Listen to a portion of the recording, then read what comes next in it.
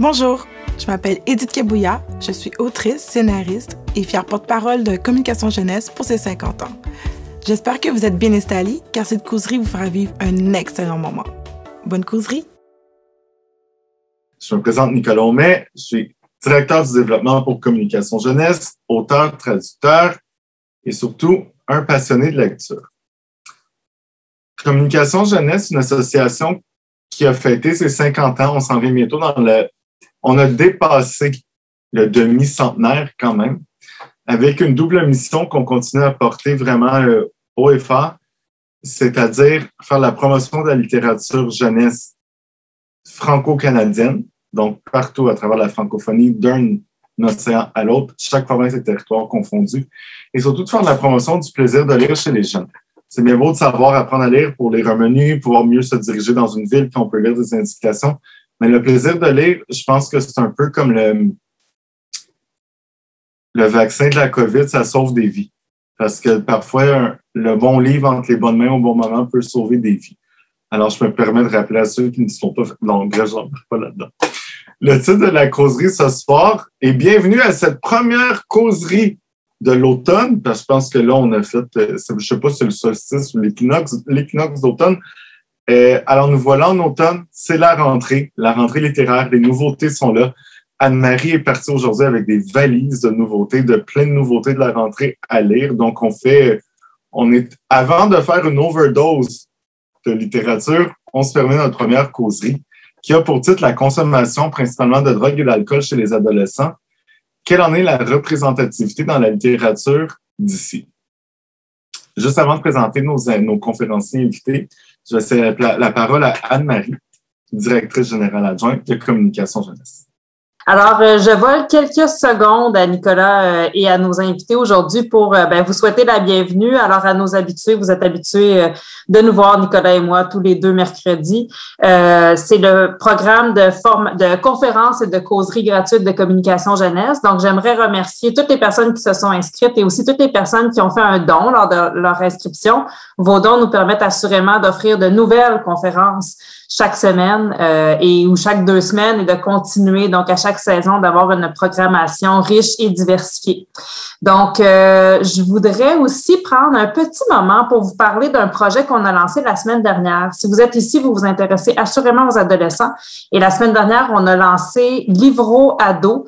C'est un programme qui existait déjà, mais dont la formule a entièrement changé et qui maintenant est un programme gratuit de communication jeunesse. L'objectif de Livro Ado, c'est de stimuler l'intérêt des ados envers la lecture, mais à communication jeunesse, on passe souvent par le biais des médiateurs, des enseignants, des bibliothécaires et des libraires. Alors, je me permets de partager mon écran une petite seconde pour vous amener sur la page Facebook de Livro Ado. C'est un, donc, Livro Ado, un groupe Facebook qui a été euh, lancé. On est à 248 membres. Nous, pour nous, on est déjà contents parce que ça fait à peu près une semaine que c'est en ligne. Et c'est une communauté qui, euh, dans laquelle vous allez pouvoir trouver donc des astuces de médiation, des activités de médiation et aussi des partages de contenu. J'avais tout placé pour que ce soit bien placé, mais là, je vais revenir euh, à la page initiale. Alors, euh, également des partages de contenu au sujet des adolescents et de la littérature en général. Donc, je vous invite à aller vous inscrire au groupe euh, facebook.com baroblique groups baroblique livro ado CJ et vous allez pouvoir euh, suivre les conversations puis aussi interagir avec les gens. Vous allez pouvoir poser des questions pour avoir des suggestions de lecture, aller suggérer des livres et des activités que vous avez réalisées. Dans l'onglet en haut du groupe qui est l'onglet Fichier, vous allez pouvoir télécharger une petite trousse de départ pour Livro Ado. Alors, j'ai cliqué sur Fichier et j'attends que ça s'affiche. Pour l'instant, voilà. Donc, vous allez pouvoir aller télécharger la trousse de départ. Et lorsque vous téléchargez la trousse de départ, vous arrivez à ce document PDF que vous pouvez imprimer, euh, dans lequel on vous explique un peu comment fonctionne Livro Ado et le type de matériel que vous allez trouver, c'est-à-dire des astuces de médiation, des activités flash et des listes thématiques puis avec déjà quelques activités qui vous sont euh, déjà proposées pour commencer l'année du bon pied, avec déjà une astuce de médiation. Puis, à chaque mois, il va y avoir des activités qui vont être déposées en fichier sur le groupe de Livre Donc, c'était ma petite invitation euh, du jour. Je vous invite à vous joindre à nous pour euh, multiplier les activités de médiation auprès des adolescents et surtout répandre le plaisir de lire et la connaissance des livres. Donc, assurément que cette vidéo que nous sommes en train de faire sera partagée dans le groupe Livro Ado euh, dès qu'elle sera finalisée pour qu'un plus grand nombre puisse voir et entendre nos invités. Merci Nicolas et à tous. Bonne causerie. Merci beaucoup Anne-Marie. Alors, sans plus tarder, j'aimerais présenter nos conférenciers invités. Ils sont deux. Ça va être costaud parce que je me rends compte que mes questions sont remplies de sous-questions, puis vous ne savez pas encore ce qui s'en est, mais je te sais. Alors, j'aimerais souhaiter la bienvenue à Myriam Laventure, docteur et professeur titulaire au département de psychoéducation de l'Université de Sherbrooke. Et euh, Myriam, tu sauras me corriger, mais Myriam est autrice du livre euh, avec un proche ayant une dépendance, qui a été publié chez Bayer Canada il y a quelques années. J'y étais. Et euh, Myriam, elle a un mot d'ordre dans, ce que je me rappelle de, ce qu'elle avait écrit. Elle travaille beaucoup avec des populations vulnérables et euh, son mot d'ordre, la prévention, je pense tout est dans la prévention. Donc, c'est un mot d'ordre. Je pense, Myriam, on va y revenir. Euh, qui accompagne Myriam. Donc, Emmanuel Lozon, qui nous rejoint live de Jonquière. Il va pouvoir nous le dire. Auteur de Addict et Toxique. Euh, toxique, en fait, que je. Bon, je, l'avais lu, mais je l'ai relu pour les besoins de la cause pour ce soir, avec une brillante préface de David Goudreau aux éditions de Mortagne. Mais Emmanuel, c'est plus qu'un auteur. Il, y a un don spécial quand rejoint les jeunes. Alors, euh, conférencier, vraiment un vétéran de l'animation auprès des jeunes et des rencontres avec les jeunes. Merci de votre présence. Myriam, Emmanuel, je me lance dans le vif du sujet et tranquillement, vous pourrez ouvrir vos micros. Chez les adolescents, puis là, on ne va pas se demander ceux qui sont lecteurs, moins lecteurs, lecteurs et Chez les adolescents, quand on parle de consommation, consommer de manière excessive, voire parfois, parce que ça peut devenir une addiction, l'alcool ou aux drogues, c'est parfois synonyme d'une perte de contrôle sur leur vie, parce que on est toujours dans une certaine quête identitaire à l'adolescence, on se cherche continuellement. En prenant exemple sur vos ouvrages, donc sur tes romans manuels, sur, sur ton livre Myriam, croyez-vous que les ados consomment pour des raisons qui reflètent certains aspects plus ou moins évidents de l'adolescence, c'est-à-dire vouloir faire partie de la gang cool, être plus performant, quand on parle de certaines autres drogues, quand on parle de sport en particulier, Parfois simplement pour se sentir plus social, moins introverti parce que mais l'adolescence demeure l'adolescence. Myriam, si tu permets, je te laisserai commencer. Je te, donne la parole. Oui, ben, merci. Bonjour, bonsoir tout le monde. Euh, ça me fait tout spécial. la première fois que je participe à une causerie en littérature. Ça me fait plaisir d'être là. Euh, ben, en fait, la question est très, très bonne. Euh, il y a autant de raisons de consommer qu'il y a de jeunes qui consomment. Donc, tous les jeunes ne consomment pas pour les mêmes raisons. Et, mais la majorité, je peux vous dire que quand on leur demande pour quelles raisons ils consomment, ils vont vous répondre pour le plaisir. OK? Donc, c'est la, quand on fait nos, dans nos études, là, quand on fait nos recherches puis qu'on questionne, la première raison qui arrive, c'est le plaisir.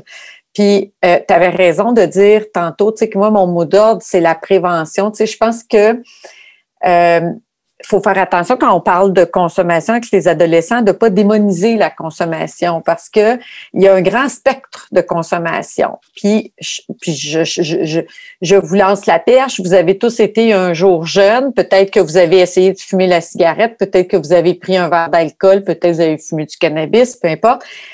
Vous n'êtes pas tous devenus euh, consommateurs problématiques. Donc, pour moi, là, euh, la consommation, ça fait partie de l'adolescence. Puis il y a même des études qui ont démontré que les adolescents qui consomment, euh, ils, ont, ils, ont, comparé en fait sur des sur les euh, sur les compétences sociales des groupes d'adolescents. Certains qui avaient jamais jamais consommé, des jeunes qui, qui, consommaient de façon récréative, puis des jeunes qui consommaient de façon problématique.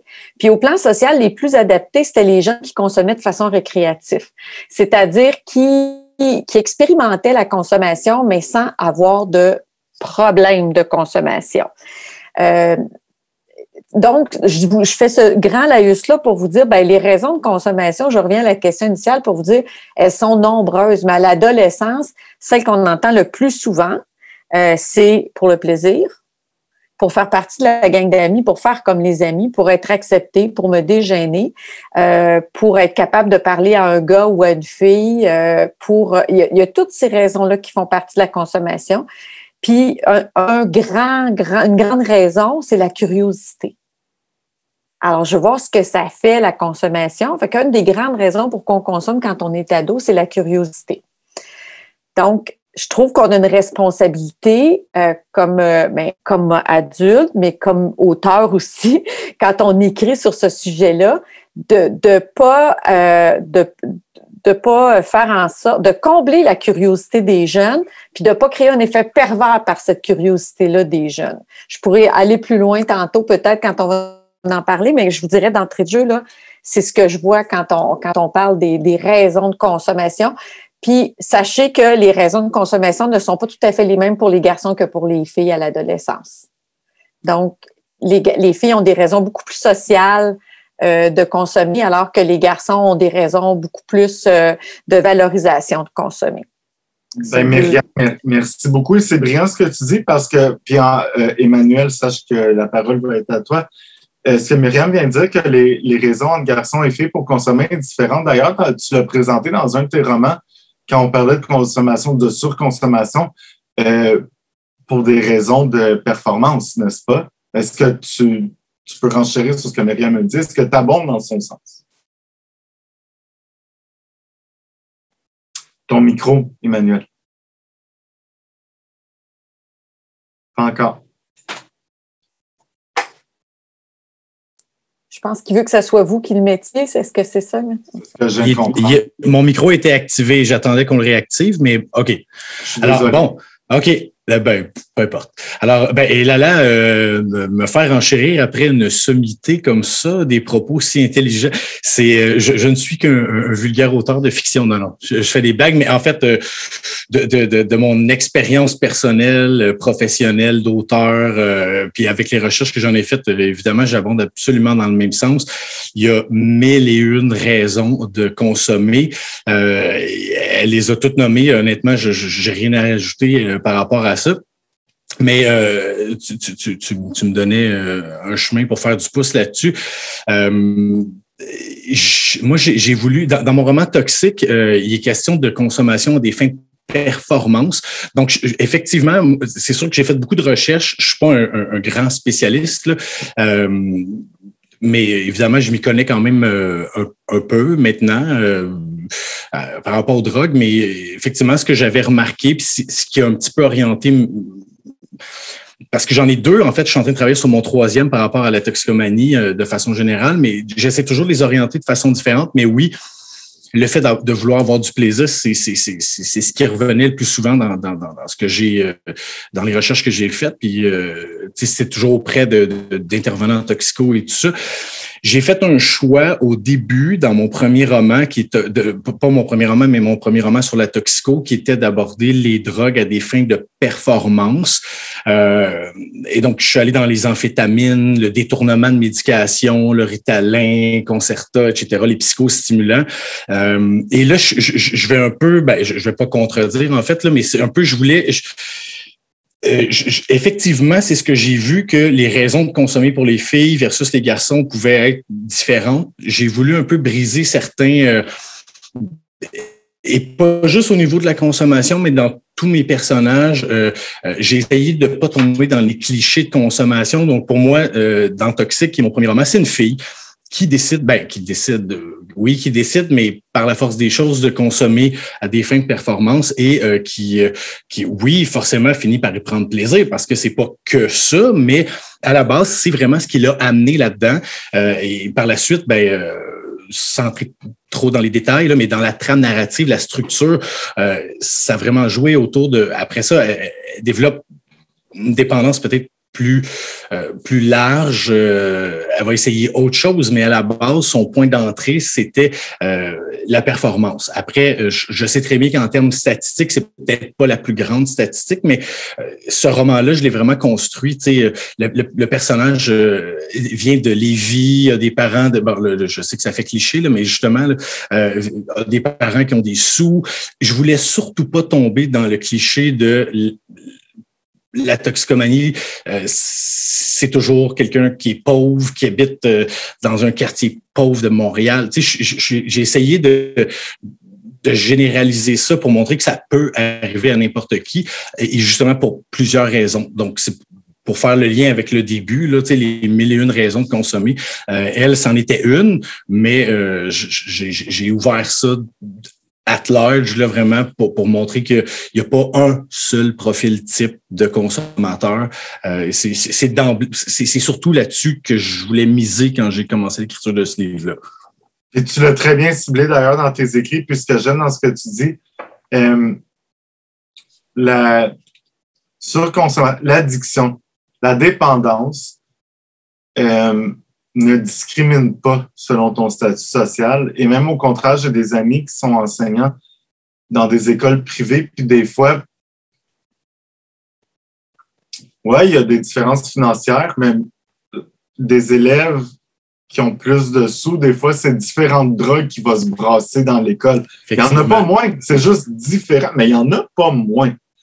Euh, Parlons-en des romans et des films, de la culture, du théâtre, quand on parle de consommation, de la fiction. Euh,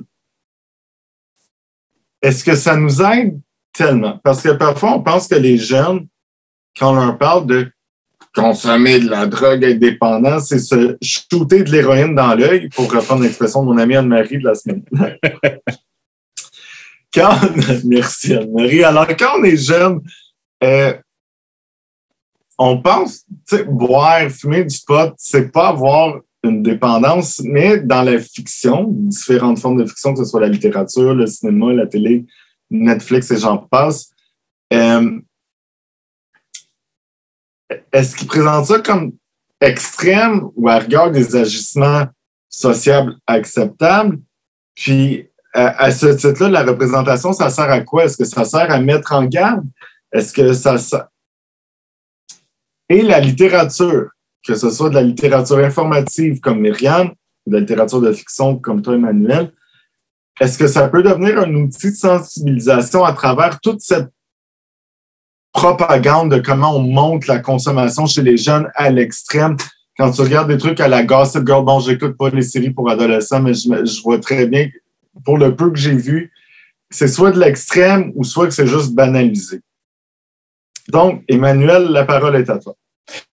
Euh, il y a beaucoup de questions euh, dans ta question. je ne me fais plus de questions, puis on n'a pas assez de temps, c'est ça le problème. Euh, écoute, je ne peux pas parler pour tous les créateurs, surtout pour tous les styles. je vais parler pour moi-même, là, mais je, je, suppose que, en fait, j'espère que la plupart des créateurs, quand, que ce soit un film, du théâtre, de la littérature, font un travail préalable d'après moi, ça doit être le cas. Je, pense qu'on peut pas aborder des sujets aussi touchés que ça juste en allant dans une fiction totale sans avoir un minimum de base. Je, le souhaite. En tout cas, moi, c'est ce que j'ai fait. Euh, euh, est-ce que euh, est-ce que c'est bien fait pour je, je sais pas, j'ai pas vu tout ce qui se fait, mais moi je me rappelle les films Basketball Diaries quand j'étais jeune avec Leonardo DiCaprio. Il y avait il y en avait plusieurs. Le, Kids, ados aussi, qui, en français. Je, ça, je me rappelle que c'était vraiment des, des, des fictions qui étaient très extrêmes. Je pense que avec le recul, parce que moi-même j'étais ado à l'époque, je, pense que ce genre-là était un peu de nous choquer. Euh, est-ce que moi, c'est ce que je fais? Oui et non. C'est-à-dire que j'ai pas cette. Euh, j'ai pas, en fait, j'ai pas de prétention. Tu sais, moi, je, suis un écrivain de fiction. J'ai écrit des livres sur des poux pour les plus petits. J'ai écrit des livres sur des toxicomanes. Fait tu sais, je vais vraiment dans tout, mais c'est sûr que j'ai un souci euh, de, de pas dire n'importe quoi qui est beaucoup plus important euh, quand, quand il est question de sujets comme ça. Euh, fait que, euh, ouais, ben, c'est sûr qu'il y, y, a beaucoup de recherches qui est faite. Puis, euh, pour moi, c'est c'est pas juste de d'écrire une histoire, j'essaye de, de, de, je veux pas banaliser, puis je veux pas aller dans l'extrême non plus, mais euh, je vais aller un peu dans le sens de, ce que Myriam disait tantôt. Euh, S'il y a une phrase qui pourrait résumer, euh, disons, ma démarche littéraire quand j'écris un livre là-dessus, c'est que la dernière chose que je veux, c'est que les lecteurs et les lectrices, qui soient consommateurs ou pas, aient l'impression que je leur fais la morale. Parce que si je fais ça, euh, je suis pas un intervenant, moi. Je, suis un, auteur de fiction. Donc, si d'emblée j'arrive puis je leur dis la, pas, la littérature, j'allais dire la littérature c'est mal. Non, non, non, non. La littérature c'est bien. Euh, mais si la, si, j'arrive puis tu sais comme ce qu'ils ce qu'ils comprennent de mon propos, c'est que la littérature, euh, voyons, je vais finir par le dire, la drogue c'est mal. Il y, a, y a une frange de mon lectorat ou de mon lectorat potentiel qui va qui va décrocher tout de suite. Sais, parce que si il y avait que des aspects négatifs à la consommation, personne consommerait. Donc, je veux dire, je, ne veux surtout pas démoniser euh, les drogues, la consommation. Évidemment, je veux pas la louanger non plus, mais c'est toujours un, travail très fin d'équilibre entre les deux. Euh, je pense que c'est plus facile, en tout cas pour moi, là, de, de de pas tomber dans dans la valorisation de la consommation parce que c'est quelque chose qui est acquis dans la société, c'est normal. Euh, donc, je me fais surtout, je fais beaucoup d'efforts pour ne pas la démoniser non plus. Euh, fait après, comment chaque créateur la traite, ça, je je, je, je sais pas, mais mais c'est sûr que c'est un. Je pense pas qu'on peut traiter ce sujet-là juste simplement comme dans une fiction, comme on écrirait une histoire de science-fiction ou de fantastique. Là. Ça, ça, ça prend un, un fond qui est solide. C'est là qu'il Est-ce que je peux permettre une, sous-question, euh, Nicolas, parce que je pense que ce qui serait intéressant de savoir aussi, c'est ça, c'est ton intention, mais tu fais beaucoup de rencontres dans les écoles, tu rencontres les adolescents. Qu'est-ce qu'ils en retirent lorsqu'ils lisent ces ouvrages-là? Est-ce qu'ils ont l'impression qu'on parle d'eux, de quelqu'un qu'ils connaissent, euh, de, de la personne au coin de la rue? de quelque chose qui les, qui les regarde pas, mais qui pourrait arriver? Je suis curieuse de savoir un peu quel est le, retour, d'autant plus que c'est dans une collection aussi euh, chez euh, De Mortagne, la collection Tabou, qui est une collection qui veut aborder les sujets de front mmh. avec les ados. Je suis curieuse de connaître leur réaction par rapport à ça. Euh, je dirais ça dépend, encore une fois, parce que je, je, je pense que c'est très important dans des sujets comme ça d'être très humble et de ne pas généraliser. Là, mais fait que je vais, je précise que je parle de mon expérience personnelle, là, mais j'ai quand même rencontré. D'ailleurs, je vais préciser Nicolas là, parce que Nicolas il, trouvait ça bizarre que on, ben pas bizarre, c'est-à-dire, mais il a remarqué qu'on voyait des oreillers. Je, fais beaucoup de tournées d'animation là, donc là je suis à Jonquière, là, je suis pas chez moi, je suis dans ma chambre d'hôtel. Fait que je fais beaucoup de, de, tournées comme ça partout au Québec. Fait que je vais vous donner mon pouls de ce que j'ai vu au Québec, au Nouveau-Brunswick, euh, partout je suis allé, je vous dirais ça dépend. La réponse est ça dépend. Euh, J'en ai des, il y a des, écoles, des classes, des élèves selon leur âge, selon leur ville, selon leur niveau social, euh, qui euh, qui ont trouvé ça franchement exagéré mes livres parce qu'ils voyaient pas. Pour eux, c'était tellement loin d'eux puis de leur milieu. C'était comme, tu sais, après, moi, je veux dire, si on a aimé mon livre, c'est correct, je vais être content. Si on l'a pas aimé, euh, je, ça m'appartient pas. Tu sais. Euh, mais au niveau de la crédibilité, ça, tu sais, comme ça, je le prends pas mal parce que je sais très bien que c'est crédible ou pas. Ben, ben, en fait, je pense que c'est crédible, mais je veux dire, ça va rejoindre euh, différemment certaines personnes. Fait qu'il y en a, moi, qui m'ont dit, ben, ton livre est pas crédible pendant tout, euh, parce que c'est pas ce que eux vivent, c'est pas ce qu'ils voient. Puis j'en ai d'autres qui, euh, puis je, m'excuse, je vais être obligé de, j'essaie de pas tomber dans les généralisations, mais euh, c'est sûr que quand je fais des classes, euh, je fais aussi, tu sais, je fais, je peux aller dans des écoles privées comme je peux aller dans des centres jeunesse en adaptation scolaire. Je vous cacherai pas que dans des centres jeunesse puis en adaptation scolaire, je le répète, je généralise, mais c'est sûr que la réception est différente que si je vais dans une école privée à Outremont. Tu euh, je vais avoir, euh, en centre jeunesse, je vais avoir des, des, des, des fans de, de, ces, de, des romans sur la toxicomanie que j'ai écrits, puis des, des, des, fans aussi en termes d'intervenants et de profs, parce que pour eux, mon livre a touché directement à la source le vécu du jeune ou de la jeune, alors que pour d'autres classes, ben, c'est quelque chose qui est pour eux, c'est aussi loin que, que, que, Harry Potter. Tu sais, je veux dire, ça leur apparaît aussi fictif que Harry Potter. Fait que c'est tellement varié. Mais euh, selon les, publics que je rencontre, puis tu sais, ça, je, je, m'y fais, là, mais moi, j'aime beaucoup. Euh, moi, quand je reçois des demandes pour aller dans des centres jeunesse ou des, euh, des classes en, en adaptation scolaire, honnêtement, c'est mes préférés parce que j'ai l'impression qu'ils ont vraiment compris, en tout cas, qui ont vécu pas nécessairement la même histoire, mais qui peuvent vraiment comme se, se, retrouver là, dans le personnage ou dans ce qu'il a vécu. Emmanuel, tu as tout à fait raison, puis je vais revenir en fait avec ça pour euh, une sous-sous-question de celle d'Anne-Marie. Mais juste avant, et puis je vais prendre l'exemple du livre euh, de Myriam Vivre avec un proche en indépendance. Euh, on parle de consommation, mais là, je pense qu'il est temps aussi qu'on parle de faut se parler de surconsommation. Consommation à rigueur, je ne sais pas si vous avez pris un verre de vin, chers participants, participants ce soir, grand bien vous fasse. Ça, mais là, si on parle de surconsommation, c'est autre chose. Parce que chez les ados, le fun, le kick, le thrill, le plaisir ressenti au début peut laisser place à un besoin incontrôlable que physiquement, puisqu'ils ne savent pas gérer, c'est une dépendance. Donc, des fois, tu es physiquement dépendant et tu ne sais même pas ce que ton corps dit. Euh, quand on parle d'alcool ou d'autres substances, puis à la base, c'était juste pour être meilleur, être the best, le plus cool ou qu'importe. Euh, les adolescents dans cette situation pensent souvent comme des jeunes adultes qui sont invincibles. Je peux arrêter n'importe quand, c'était juste un party, il y en aura, ben, puis des fois, il y en a un deuxième, un troisième, un troisième. Euh, Myriam, je vais commencer avec toi. Selon toi, quand on tombe dans. C'est quoi la limite pour un adolescent quand on tombe dans la surconsommation? Est-ce qu'on est temps appelé à frapper un mur ou le fond du baril? Est-ce que c'est inévitable? C'est une grosse question parce que c'est comme si tu me demandais est-ce que tous les consommateurs sont pareils? Ben non, tous les consommateurs sont pas pareils. Puis il faut savoir, là, parce que tu parles de surconsommation, il faut que vous sachiez là, que dans la population, là, il y a 90% des jeunes qui vont. parmi les jeunes qui vont consommer, c'est à peu près 87% euh, des adolescents.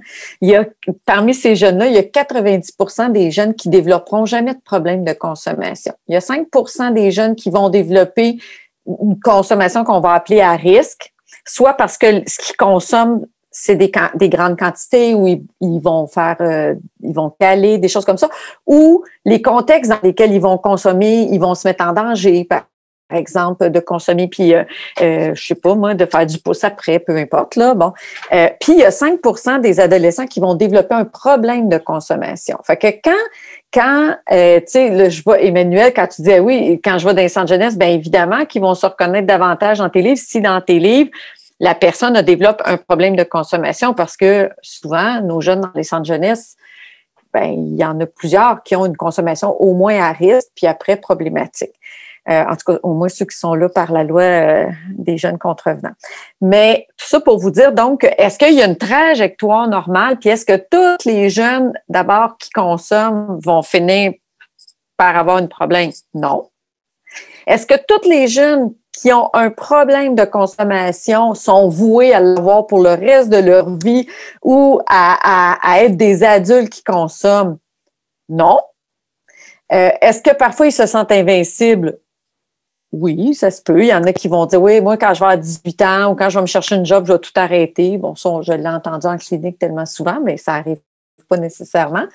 Euh, mais tout ça pour vous dire que pour qu'on puisse, sais, il y a des jeunes, par exemple, il y a des facteurs qu'on sait que plus un jeune commence tôt la consommation, plus il augmente ses chances, puis tôt, là, je veux dire avant 12 ans.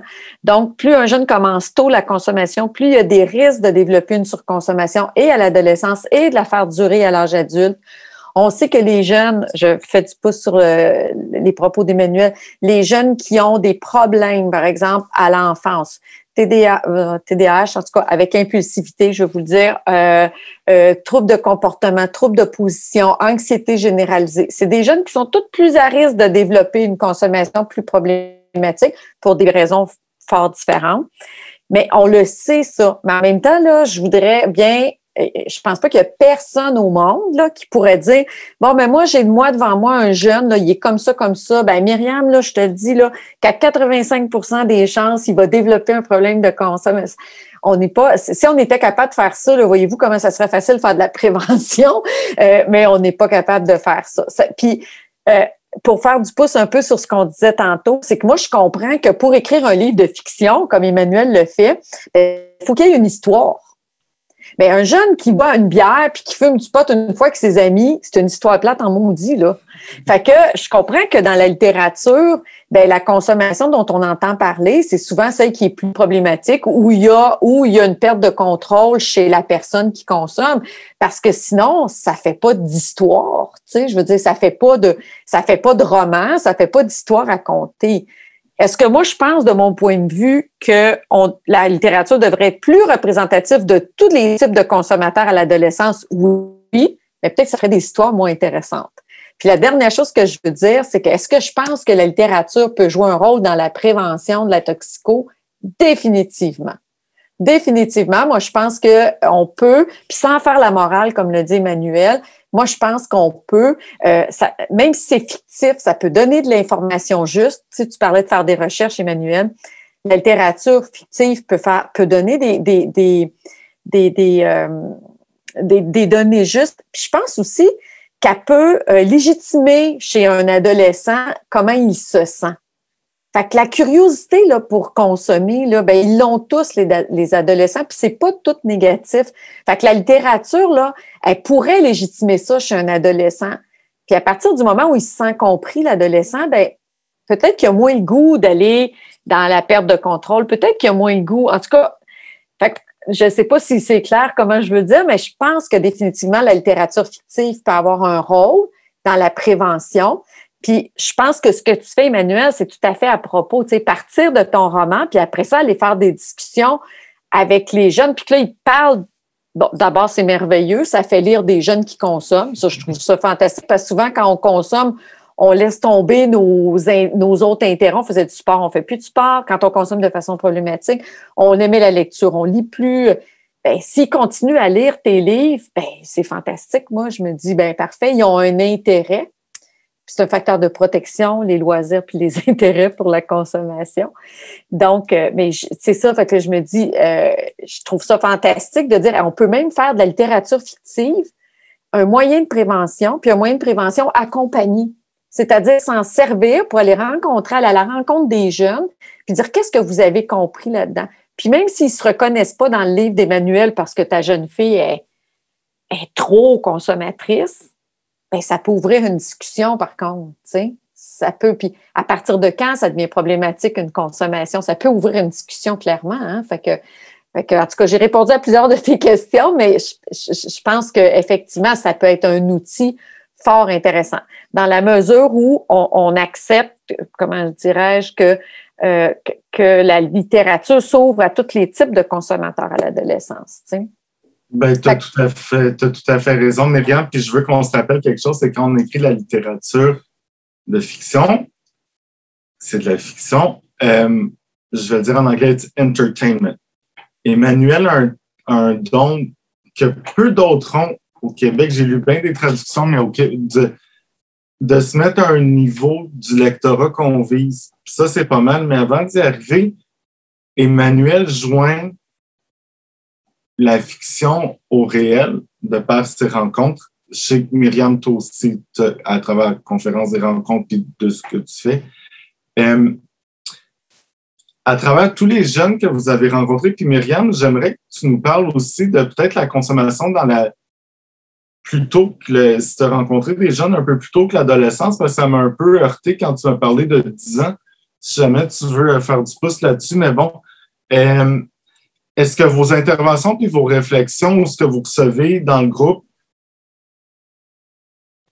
deviennent une source d'inspiration à la fois pour la fiction que pour des livres d'accompagnement ou d'information comme tu l'as fait, Myriam?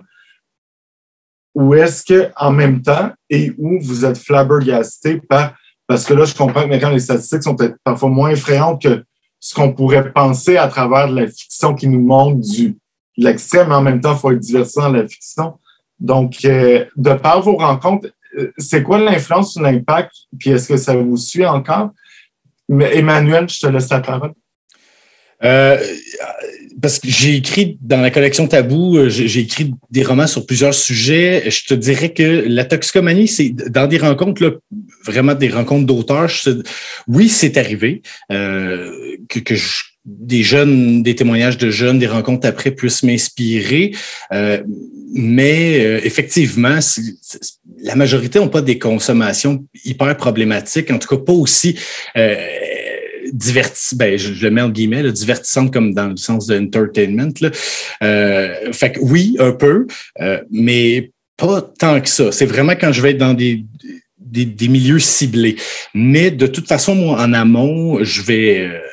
Euh, parce que je parlais de faire des recherches, mais pour moi, il y a des recherches factuelles, évidemment. Tu sais, je veux savoir combien coûte euh, euh, un point d'héroïne ou euh, bon, tu sais, comme des, faits, là, mais il y a des recherches, c'est pas tant des recherches, je veux vivre des moments. Donc, moi, en amont, ça va être des rencontres. Je vais aller, je suis allé dans des, des, des, des des centres de, de, désintox, des, des, milieux là, de, où il y a des jeunes toxicomanes. Euh, je suis même allé dans des milieux pour adultes. Je, suis allé pour mon, mon, plus récent qui est Addict, euh, qui, celui-ci euh, parle des opiacés. Je suis allé voir un, dans un centre d'injection supervisé.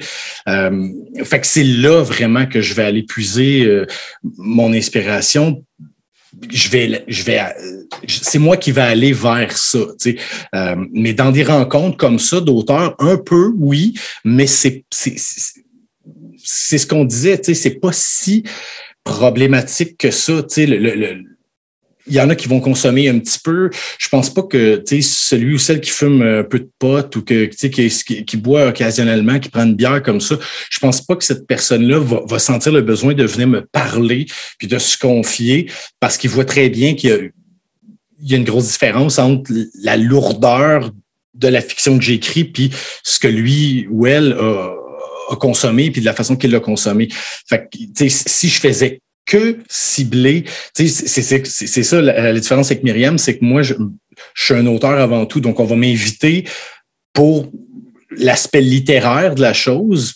Donc oui, ici et là, ça peut arriver de façon ponctuelle que je vais euh, avoir des commentaires. Et donc quand ça arrive, oui, assurément, euh, je, je, ne rate jamais une occasion. Euh, puis pour moi, c'est impensable que ce soit, là, on parle de toxicomanie, là, mais euh, peu importe le sujet que j'aborde, pour moi, euh, écrire, tu sais, j'ai 40 ans, euh, je, suis pas du tout dans cette même, dans cette réalité-là. Puis, il y a des gens qui, qui vont écrire des livres, puis qui ça leur tente pas ou ils aiment pas ça ou je sais pas faire des animations pour aller sur le terrain ça leur appartient mais moi, personnellement, je me sentirais totalement euh, imposteur. Je ne serais pas du tout à l'aise d'aborder des sujets comme ça si j'avais pas un contact terrain avec des jeunes, que ce soit des jeunes avec des vrais, ben, je devrais pas dire vrais, là, mais avec des, des problématiques ou pas.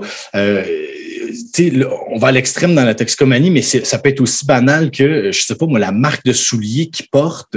Euh, pour, pour, je ne suis plus un ado de 15 ans, donc pour moi, c'est absolument impensable d'écrire des livres pour des ados si je n'ai pas un contact direct. Donc, absolument impensable pour moi d'écrire si je ne vais pas les rencontrer sur le terrain. Puis bon, évidemment, dans ce cas-ci particulier, ben, les rares fois où ça arrive, ben, c'est sûr que oui, je vais m'en abreuver euh, de façon euh, positive, mais euh, voilà. Non, puis ça se ressent à travers ton écriture parce que on, on, le ressent que tu peux pas juste parler.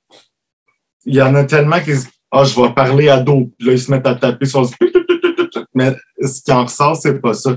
Mais quand tu les rencontres, tu leur parles avec un vocabulaire accessible, une fois que tu te mets à l'écriture, L'énergie entre deux personnes, tu sais, je veux dire, c'est pas la même chose que de lire un témoignage sur Internet ou, tu sais, quelqu'un qui me parle puis qui, qui, qui me compte un truc puis qui est en train de, qui sortit pour pleurer, là.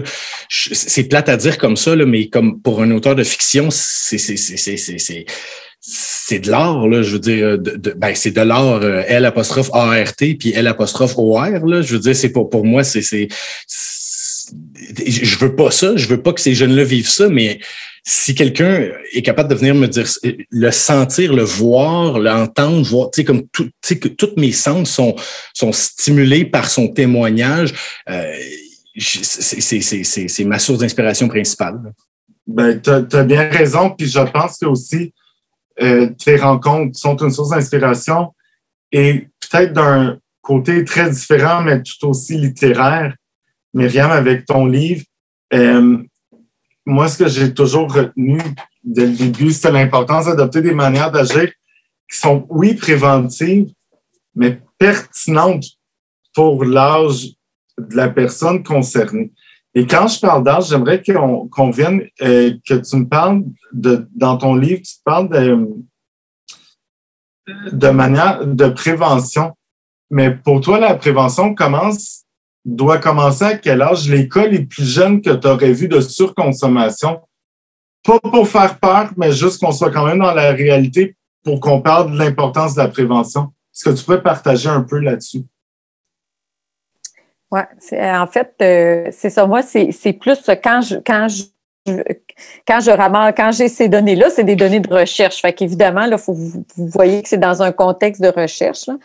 Puis, euh, en fait, je pense que, tu sais, je, je, tu dis le plus jeune que j'ai vu en dépendance, ben en fait, c'est que je peux pas définir la dépendance de la même façon que je la définis pour un adulte, que je la définis pour un ado de 16 ans, que je la définis pour un enfant de 10 ans. Parce que pour moi, un enfant de 10 ans qui boit de l'alcool toutes les fins de semaine, qui boit de l'alcool chez eux, puis qui boit toutes les fins de semaine avec ses amis, euh, dans le bois à cabane à sucre, ben ça devient assez, ça devient problématique assez rapidement. Pourtant, si je reprends cette consommation-là du vendredi soir hebdomadaire avec un adolescent de 17 ans, ben voyez-vous, il est, beaucoup moins problématique parce qu'il a 17 ans, parce qu'il prend pas sa voiture après pour, pour X, raisons.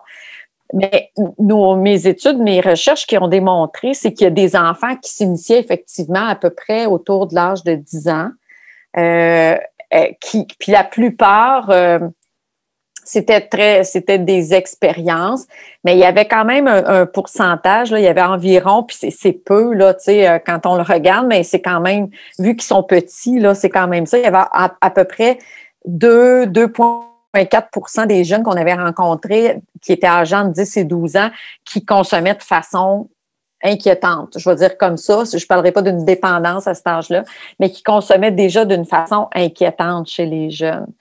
Euh, là, ça m'appelle, ça m'amène à dire, ben, par exemple, quand je veux faire de la prévention, si moi, vous me demandez à quel âge on commence à faire de la prévention, on commence à faire de la prévention quand les enfants sont tout petits. Si on leur donne des bonnes habiletés sociales, si on leur donne euh, confiance en eux, si on leur donne, ben, on leur met, euh, moi, je tout le temps, on leur met des petits coussins autour, puis ça va faire juste des enfants plus forts pour, pour la suite des choses. Mais je pense que, puis, puis je pense qu'il y a une façon de parler de la consommation selon l'âge des enfants. C'est ce que tu nommais un peu. Puis ça pourrait même être fait dans la littérature euh, fictive, tu sais, parce que euh, je prends, j'ai des livres que j'utilise ici avec des enfants 6-12 ans dont les parents ont un problème de consommation. Puis c'est un chien, puis le chien, son maître, s'en occupe pas super bien. Puis, euh, puis ben, il est triste parce qu'il pense que c'est de sa faute si son maître s'en occupe pas tellement bien. Mais voyez-vous, nous, ce qu'on fait avec ce livre, c'est fictif, là. Mais nous, on sert de ce livre-là pour dire aux enfants, ben regarde, euh, euh, regarde euh, comment, pourquoi tu penses qu'il se sent comme ça? Est-ce que toi, ça t'arrive à te sentir comme ça? Fait qu'on travaille ça avec, on se sert de cette, cette, histoire fictive-là pour l'approcher. Mais je dirais pas des enfants 6-12 ans, ben peut-être que je ferais pas lire le livre d'Emmanuel, tu sais, mettons. Une bonne idée. Non, c'est ça que je dis. fait que c'est comme, faut choisir ce qu'on dit, puis, euh, faut, puis dépendamment de la, clientèle à qui je vais m'adresser, je ferai, je je ferai pas la même, euh, je suggérerai pas les mêmes choses à des enfants dont je sais qu'ils sont dans un milieu où il y a de la consommation versus des enfants où je pense qu'ils sont pas confrontés à cette situation-là. Fait, mais, mais, mais je pense qu'on peut quand même en parler. Puis je pense que euh, les enfants, tu sais, tantôt tu disais qui a pris sa coupe de vin avant de venir, ben euh, les enfants sont pas fous. Là. Quand le parent prend une coupe de vin, il voit que le parent prend une coupe de vin. Quand, le, parent euh, fume une cigarette, il voit que le parent fume une cigarette. Que sais, c'est ça, faut pas penser qu'ils ne savent rien, les enfants. Les enfants, ils voient des choses. Fait que, c'est encore une fois, il faut, faut, choisir ce qu'on dit, mais euh, en fonction de l'âge puis des situations des enfants, mais il n'y a rien qui nous empêche d'en parler, tout simplement. Puis on va commencer par les substances plus communes, la cigarette, on va commencer par l'alcool, la cigarette, qui sont des, des, substances auxquelles les enfants sont très exposés. Puis après ça, ben, on va peut-être aller dans d'autres substances quand on va arriver avec nos enfants un peu plus âgés. Et puis, ben, Myriam, tu as tout à fait raison. Ce que j'aime de ce que je retiens surtout de ce que tu dis, c'est qu'on peut parler. Premièrement, les plus jeunes sont plus brillants qu'on pense. Ça, c'est juste ce que tu viens de dire. Euh, on peut leur parler de tout, suffit de choisir les bons mots. Selon si on parle de dépendance avec un jeune de 5, 10, 16 ans, les mots vont changer, mais on peut parler de tout sujet. Et avant que tu tombes sur l'histoire du chien qui fait que le maître ne prend plus soin de lui, tu as lu. Donc, faut lire. Alors, ça, c'est un message pour tous les participants, participants qui écoutent. Faut en lire plusieurs histoires, tant des romans que des albums que des pour trouver ce qui s'approprie pas un lectorat, même pas dans un but pédagogique, juste être pour une ouverture de discussion. Et dans ce, dans ce sens-là, Emmanuel, je reviens, excuse-moi, je te laisse la parole. Euh, est-ce que tu penses que peut-être l'histoire du chien, comme Myriam vient de partager, ou tes romans, qu'à différents niveaux d'âge, la littérature a permis une ouverture autour de ce sujet-là, aussi difficile soit-il, parfois? Que ce soit un parent qui consomme ou le jeune même. Absolument. Après, c'est sûr que, bon, j'en je, reviens à ce que tu viens de dire, ça, ça dépend comment c'est dit. Est-ce que, tu sais, il faut, il faut avoir un prof ou un parent qui va, tu sais, peut-être comme filtrer avant pour s'assurer que l'œuvre, elle est adéquate pour le niveau d'âge, mais, euh, tu sais, que ce soit euh, la drogue ou, euh, je sais pas, moi, euh, la santé mentale ou euh, la bouffe, tiens, je sais pas, un livre de quelqu'un qui est passionné de bouffe, peu importe le sujet, la ben, l'art en général, mais la littérature permet une ouverture sur tout. Je veux dire, du moment qu'on, tu sais, la culture en général, je veux dire, c'est, c'est cultivé. Il faut juste que ça soit approprié. Euh, c'est, le problème, c'est que des fois, euh, ben, je pense pas que ça soit vraiment un problème, en fait, mais c'est arrivé, tu sais, je pense vraiment que c'est une question de bien cibler, tu surtout, c'est sûr que s'il y a 17 ans, 16, 17 ans, c'est pas dramatique, mais je veux dire, euh, plus jeune, euh, les romans de la collection Tabou sont, sont tous, puis pas juste les miens, d'emblée, sont toujours libellés 14 ans et plus. Euh, puis il y en a certains, dont mon plus récent qui est Addict, euh, lui est 16 ans et plus. Mais malgré la petite étiquette qui est qui est à l'arrière, ça arrive que des profs ou des parents ou des parce qu'ils peuvent aller l'acheter. Je veux dire, il n'y a pas de loi, là. C'est pas comme, tu sais, je veux dire, ils vont pas te carter pour aller acheter un livre à la librairie. Là. Euh, fait euh, après, le livre qui, qui est, mon livre addict, par exemple, qui est 16 ans et plus, est-ce que ça veut dire que quelqu'un qui a 15 ans ne peut pas le lire? Non, ça dépend évidemment de son parcours, ça dépend de, de, de, est-ce qu'il a déjà discuté avec. C'est, nous, en fait, c'est plus pour nous protéger qu'on fait ça, là, pour éviter qu'il y ait de, l'abus. Mais, mais j'en vois des fois, moi, où ils ont fait lire mon livre, euh, c'est clairement dit 16 ans et plus, là, puis qu'ils l'ont fait lire à des secondaires 1. Puis là, après ça, ben, on me demande de venir en classe. Je suis pas tout à fait à l'aise, là, parce que je, ben, je, vais y aller parce qu'à la limite, ça va peut-être me permettre de rattraper ça, mais je me pose des questions. Pourquoi vous avez fait lire ça à des élèves de secondaire 1? C'est écrit 16 ans et plus. Serait, mettons, en secondaire 3, 4, je me dirais, bon, secondaire 1, ils viennent d'arriver au, secondaire, c'est clairement pas, pas approprié. Donc, si c'est si c'est bien encadré, si c'est bien ciblé, clairement, en fait, la littérature, c'est de la culture. Euh, puis je pense que la culture, c'est à ça que ça sert de façon générale. C'est un divertissement, mais en même temps, ça permet de nous élever intellectuellement euh, dans nos réflexions, tout le monde. Fait que je ne vois pas pourquoi on pourrait pas en traiter. Il suffit que ça soit bien traité, puis que ça soit abordé, euh, proposé, c'est-à-dire au, bon groupe d'âge. Tu as tout à fait raison, puis on se prépare. Bien sûr, Anna Mais c'est parce que, Emmanuel, ce que tu abordes avec ta réponse aussi, c'est toute la question de la médiation, parce qu'on a parlé des intentions des créateurs, de ce qu'ils veulent transmettre comme information, puis comme histoire, puis de la recherche et tout ça, mais il y a aussi tout le travail de médiation. Puis ici, dans la salle, on est nombreux à avoir ça comme, comme travail. Tu sais, quand on est un animateur littéraire, quand on est un enseignant, quand on est un parent, on peut faire des actions de médiation entre les jeunes et les livres. Puis, euh, Myriam parlait des livres pour les, pour les plus petits en prévention. Avec les plus petits, il y a un accompagnement un peu d'emblée parce qu'on va les accompagner dans la lecture, on va lire avec eux, on est là auprès d'eux. Donc, s'il y a une question qui vient, on répond à la question. on dirait qu'à un moment donné, on prend pour acquis que les enfants savent lire, fait que là, on leur fait lire des livres, puis on n'est plus assis à côté d'eux en train de lire un livre avec eux. Les adolescents ont moins d'accompagnement de leurs proches adultes quand ils lisent un livre que les plus petits. Pourtant, moi, dans mes plus beaux souvenirs d'adolescence, c'est euh, ces lectures obligatoires qu'on avait à l'école au secondaire quand j'arrivais à, parce que j'ai toujours aimé lire, là, ce ne sera pas un secret pour personne, j'aimais ça, avoir ces lectures-là, puis on avait, on lisait, j'ai eu la chance de lire aussi des créateurs contemporains à mon époque, tu sais, quand j'étais au secondaire, là, pas juste des euh, trucs euh, anciens qui, honnêtement, euh, m'ennuyaient un peu, mais les lectures contemporaines, quand j'arrivais à la maison, puis que j'en parlais à ma mère, puis je disais, hey, ça, c'est, c'est vraiment bon, mais ma mère le lisait, puis après ça, elle m'en parlait. Puis nous, comme adultes, on peut faire ça aussi, on peut s'intéresser à ce que les ados lisent, le lire nous aussi, parce que quand ils vont arriver avec une question, on va un petit peu savoir à quoi ils font référence, on va pouvoir référer au personnage, on va pouvoir répondre à ces questions-là puis les accompagner. Et en plus, d'un point de vue de la médiation, en littérature, on les encourage comme lecteurs parce qu'on est en train de leur dire que ce qui les intéresse, c'est, c'est ça a une valeur. Tu sais, c'est pas juste que nous, on leur dit de lire qui, qui a une valeur. Donc, il y a ça aussi, je pense, dans l'accompagnement que tu mentionnais. Il faut savoir ce qu'on fait lire avant de le faire lire. Puis quand c'est les jeunes qui choisissent un livre, ben, faut s'intéresser à ce qu'eux ont choisi aussi parce que ça veut dire qu'ils vont chercher là-dedans quelque chose qui est important pour eux. Puis cette médiation-là, ben, elle est essentielle à mon avis, autant pour la, prévention et l'accompagnement d'un point de vue peut-être plus euh, euh, social que pour l'intérêt de la lecture. Mais tu sais, la culture en général, ce qui moi, ben, moi, ce que j'aime, tu sais, si je vais voir une pièce de théâtre ou si je lis un livre, moi, j'aime bien quand, par exemple, tu sais, euh, je, je, lis un livre, puis ma blonde euh, a lu le même livre que moi, ce qui fait partie de, de, de, la ben, pas de la démarche là mais de, de ce qu'on aime faire euh, c'est d'en discuter après tu sais.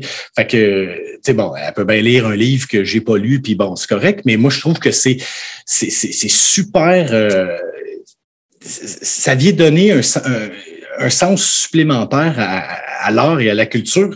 C'est ça, en fait, c'est que c'est pas juste quelque chose que, que tu, tu gardes pour toi, c'est que tu peux en parler. Bon, moi, je suis un adulte, je vais en parler avec ma blonde, mais c'est vrai que c'est vrai que les ados peuvent en parler avec leurs amis, mais euh, ça, ça peut être une belle porte pour un parent ou un prof s'il a lu le même, tu sais, c'est dire qu'est-ce que toi t'en as, tu sais, ben, sans nécessairement aller dans la, la, pédagogie là, pseudo dissimulée mais euh c'est juste d'avoir une discussion, tu sais, euh, puis, puis, donner ton avis, puis euh, d'écouter l'avis du jeune, puis c'est ça aussi. C'est pas juste quelque chose, tu sais, comme l'art, c'est pas juste quelque chose qu'on consomme pour soi, c'est aussi pour les, échanger.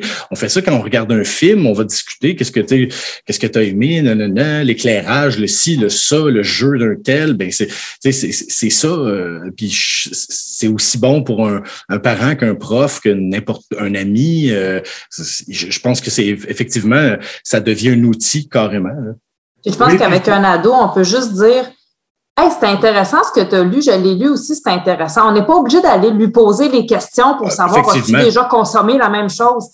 Juste de dire, moi aussi, je l'ai lu, c'est intéressant. La porte est ouverte. Après ça, s'ils ont envie d'entrer dans cette porte-là, ils le feront, euh, à mon avis, mais je ne suis pas non plus euh, intervenante, là, mais j'ai l'impression qu'ouvrir la porte peut être déjà une bonne action.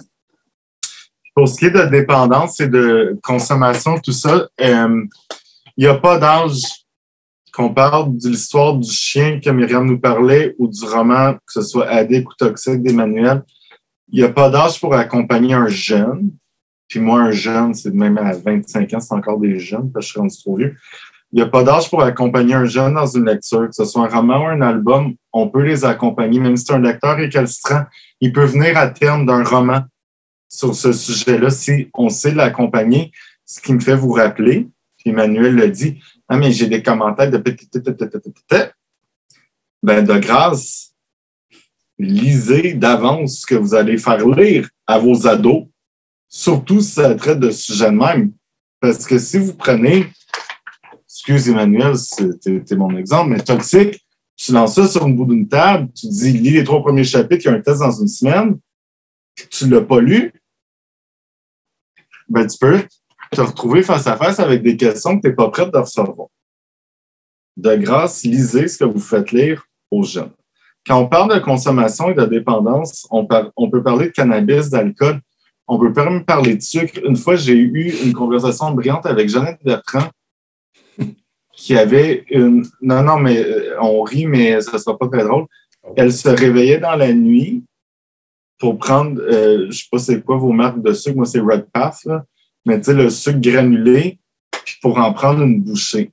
Elle était accro au sucre, puis elle se réveillait le lendemain avec une, elle appelait ça virer une brosse de sucre, elle se réveillait le lendemain avec les mêmes effets que quelqu'un qui avait consommé. Alors, la consommation, c'est à différents niveaux, puis c'est pour ça que je veux en parler. Emmanuel, il a dit ça, il ne faut pas juste parler de telle, telle consommation, mais la diversification des consommations est at large. Avant de vous laisser, je vais poser une question à Myriam, euh, euh, qui n'était pas prévue. Alors, Myriam, je ne dois pas de me dire, Nicolas, je vous rappelle. Quand on parle de dépendance, de consommation sur consommation, mais de dépendance, est-ce que la dépendance, c'est une quantité ou est-ce que la dépendance, c'est un temps? Est-ce que c'est parce que ça fait tant de temps Ou est-ce que c'est une. Quand est-ce qu'on peut parler d'une dépendance chez les jeunes? C'est une question, là, je peux faire une présentation très longue là-dessus, mais je vais essayer de faire ça très, très court, OK? Euh, il y a des définitions médicales, la dépendance, qui s'applique autant aux adultes qu'aux ados. Si ça vous intéresse d'avoir la définition, ça s'appelle le DSM-5. Vous pouvez aller là-dedans, ça va vous dire tous les symptômes. Euh, on a longtemps pensé que pour qu'on arrive à définir une dépendance, ben c'était la sorte de drogue. Si, si tu consommais des drogues dures, tu étais plus dépendant que si tu consommais des drogues douces. Euh, après ça, on a dit ben c'est la quantité. Si tu consommes des grosses quantités, ben puis des petites quantités, tu es plus dépendant. Après ça, on a pensé que c'était la fréquence. Si tu consommes plus que deux fois par semaine, ben, tu es dépendant alors que si tu consommes une fois par mois. Après ça, on a dit, ben, si tu consommes depuis deux ans versus si tu consommes depuis un mois. Puis, en fait, c'est que c'est le cumul de quand on, nous, là, cliniquement, quand on va établir une dépendance, surtout à l'adolescence, là, on appelle ça nos feux rouges, là, chez les adolescents, là, ou euh, nos feux jaunes qui sont à risque, mais on va regarder tous ces critères-là. On va regarder c'est quoi les substances qu'ils consomment, à quelle fréquence ils les consomment, à quelle quantité ils les consomment, depuis combien de temps ils les consomment. Puis la dernière chose qu'on va regarder, c'est dans quelle mesure l'usage qu'il fait de ces substances-là provoque des conséquences, a des conséquences négatives dans sa vie. Parce que peut-être, là, puis encore une fois, là, je le dis, euh, tu sais, peut-être que vous connaissez des gens qui fument du cannabis tous les soirs pour s'endormir. Puis on pourrait dire, ah, il est addict au cannabis, il s'en sert pour s'endormir. Mais le lendemain, il se lève, il fait sa journée de travail. Euh, il passe pas sa paye là-dedans, il passe pas euh, sa blonde, ça le dérange pas qu'il fasse ça. Puis ben là, moi, ma question que je vous pose, c'est elle est où le problème? Il est où le problème? Elle est où la dépendance à ce moment-là? Tu sais, parce que si on parle, évidemment, c'est ça. Puis il y en a qui voudraient faire une différence entre dépendance et addiction, là, mais, mais euh, je ne rentrerai pas dans, ces, mots-là. Mais tout ça pour vous dire que pour qu'il y ait une dépendance, on est assez unanime. Il faut qu'il y ait des conséquences négatives associées à la dépendance. Puis ces conséquences négatives-là, l'adolescence, ça peut être des problèmes scolaires, ça peut être des problèmes familiaux, ça peut être des conséquences, je ne vais dire pas des problèmes, des conséquences scolaires, des conséquences familiales, des, des conséquences euh, euh, relationnelles avec leurs blondes, leurs amis, euh, des conséquences monétaires, des conséquences judiciaires. Euh, Voyez-vous comment ça peut être plein d'ordres, mais pour qu'on arrive à la dépendance, il y a tous ces critères-là qu'il faut regarder. c'est assez complexe d'établir qu'un jeune euh, présente un problème ou une dépendance ou une consommation problématique. Il faut, faut, venir faut, mettre plusieurs choses. Je suis sûre que dans le roman, je l'ai pas lu, Emmanuel, ton roman, mais je suis sûre que dans le roman, ta jeune fille, à un moment donné, au début, la consommation, elle faisait ce qu'elle voulait qu'elle fasse. Elle permettait d'être plus performante. Puis il y a un moment où il y a eu une rupture où là, ça lui permettait plus de l'être. Puis là, là, on va dire, ben, à ce moment-là, elle est arrivée dans un problème de dépendance parce qu'il y a eu des conséquences négatives qui étaient associées. Alors, on comprend vraiment, Myriam, que conséquences négatives, eh, ça rime, conséquences, dépendance. Je pense que, ça, pour vrai, on aurait pu commencer avec ça, mais je suis content qu'on ait un peu terminé avec ça. Chers participants, participants, merci parce qu'on a osé, pour commencer notre série, de causer avec euh, cette thématique. Euh, Myriam, je la connaissais, elle se rappelle même pas moi, mais moi je la connaissais, je la connais depuis son manuscrit, donc c'était une évidence même que je le voulais avec nous. Emmanuel, euh, il n'y a pas plus près des ados, puis pas juste avec, comme il dit, écrire des choses, c'est pou, puis, mais que ce soit Emmanuel, tu vas me pardonner d'avance. C'est toujours brillant ce qu'il écrit mais que ce soit con comme la lune avec des poux ou que ce soit avec des thématiques vraiment euh, sérieuses, pas, cliniques, parce qu'il tombe jamais dans le clinique, ce qui est sa force. Il rejoint toujours le lectorat qui vise, ça, c'est une force. C'est d'ailleurs à cause, je pense que c'est par tes rencontres qui permet de rester gamin dans ta tête et dans tes écrits. Alors, merci beaucoup. Merci encore. Belle lecture au pluriel. Ça, c'est une bonne consommation. Faites-en un overdose. Merci, Communication Jeunesse. Merci, beaucoup. Merci d'avoir été avec nous. Merci.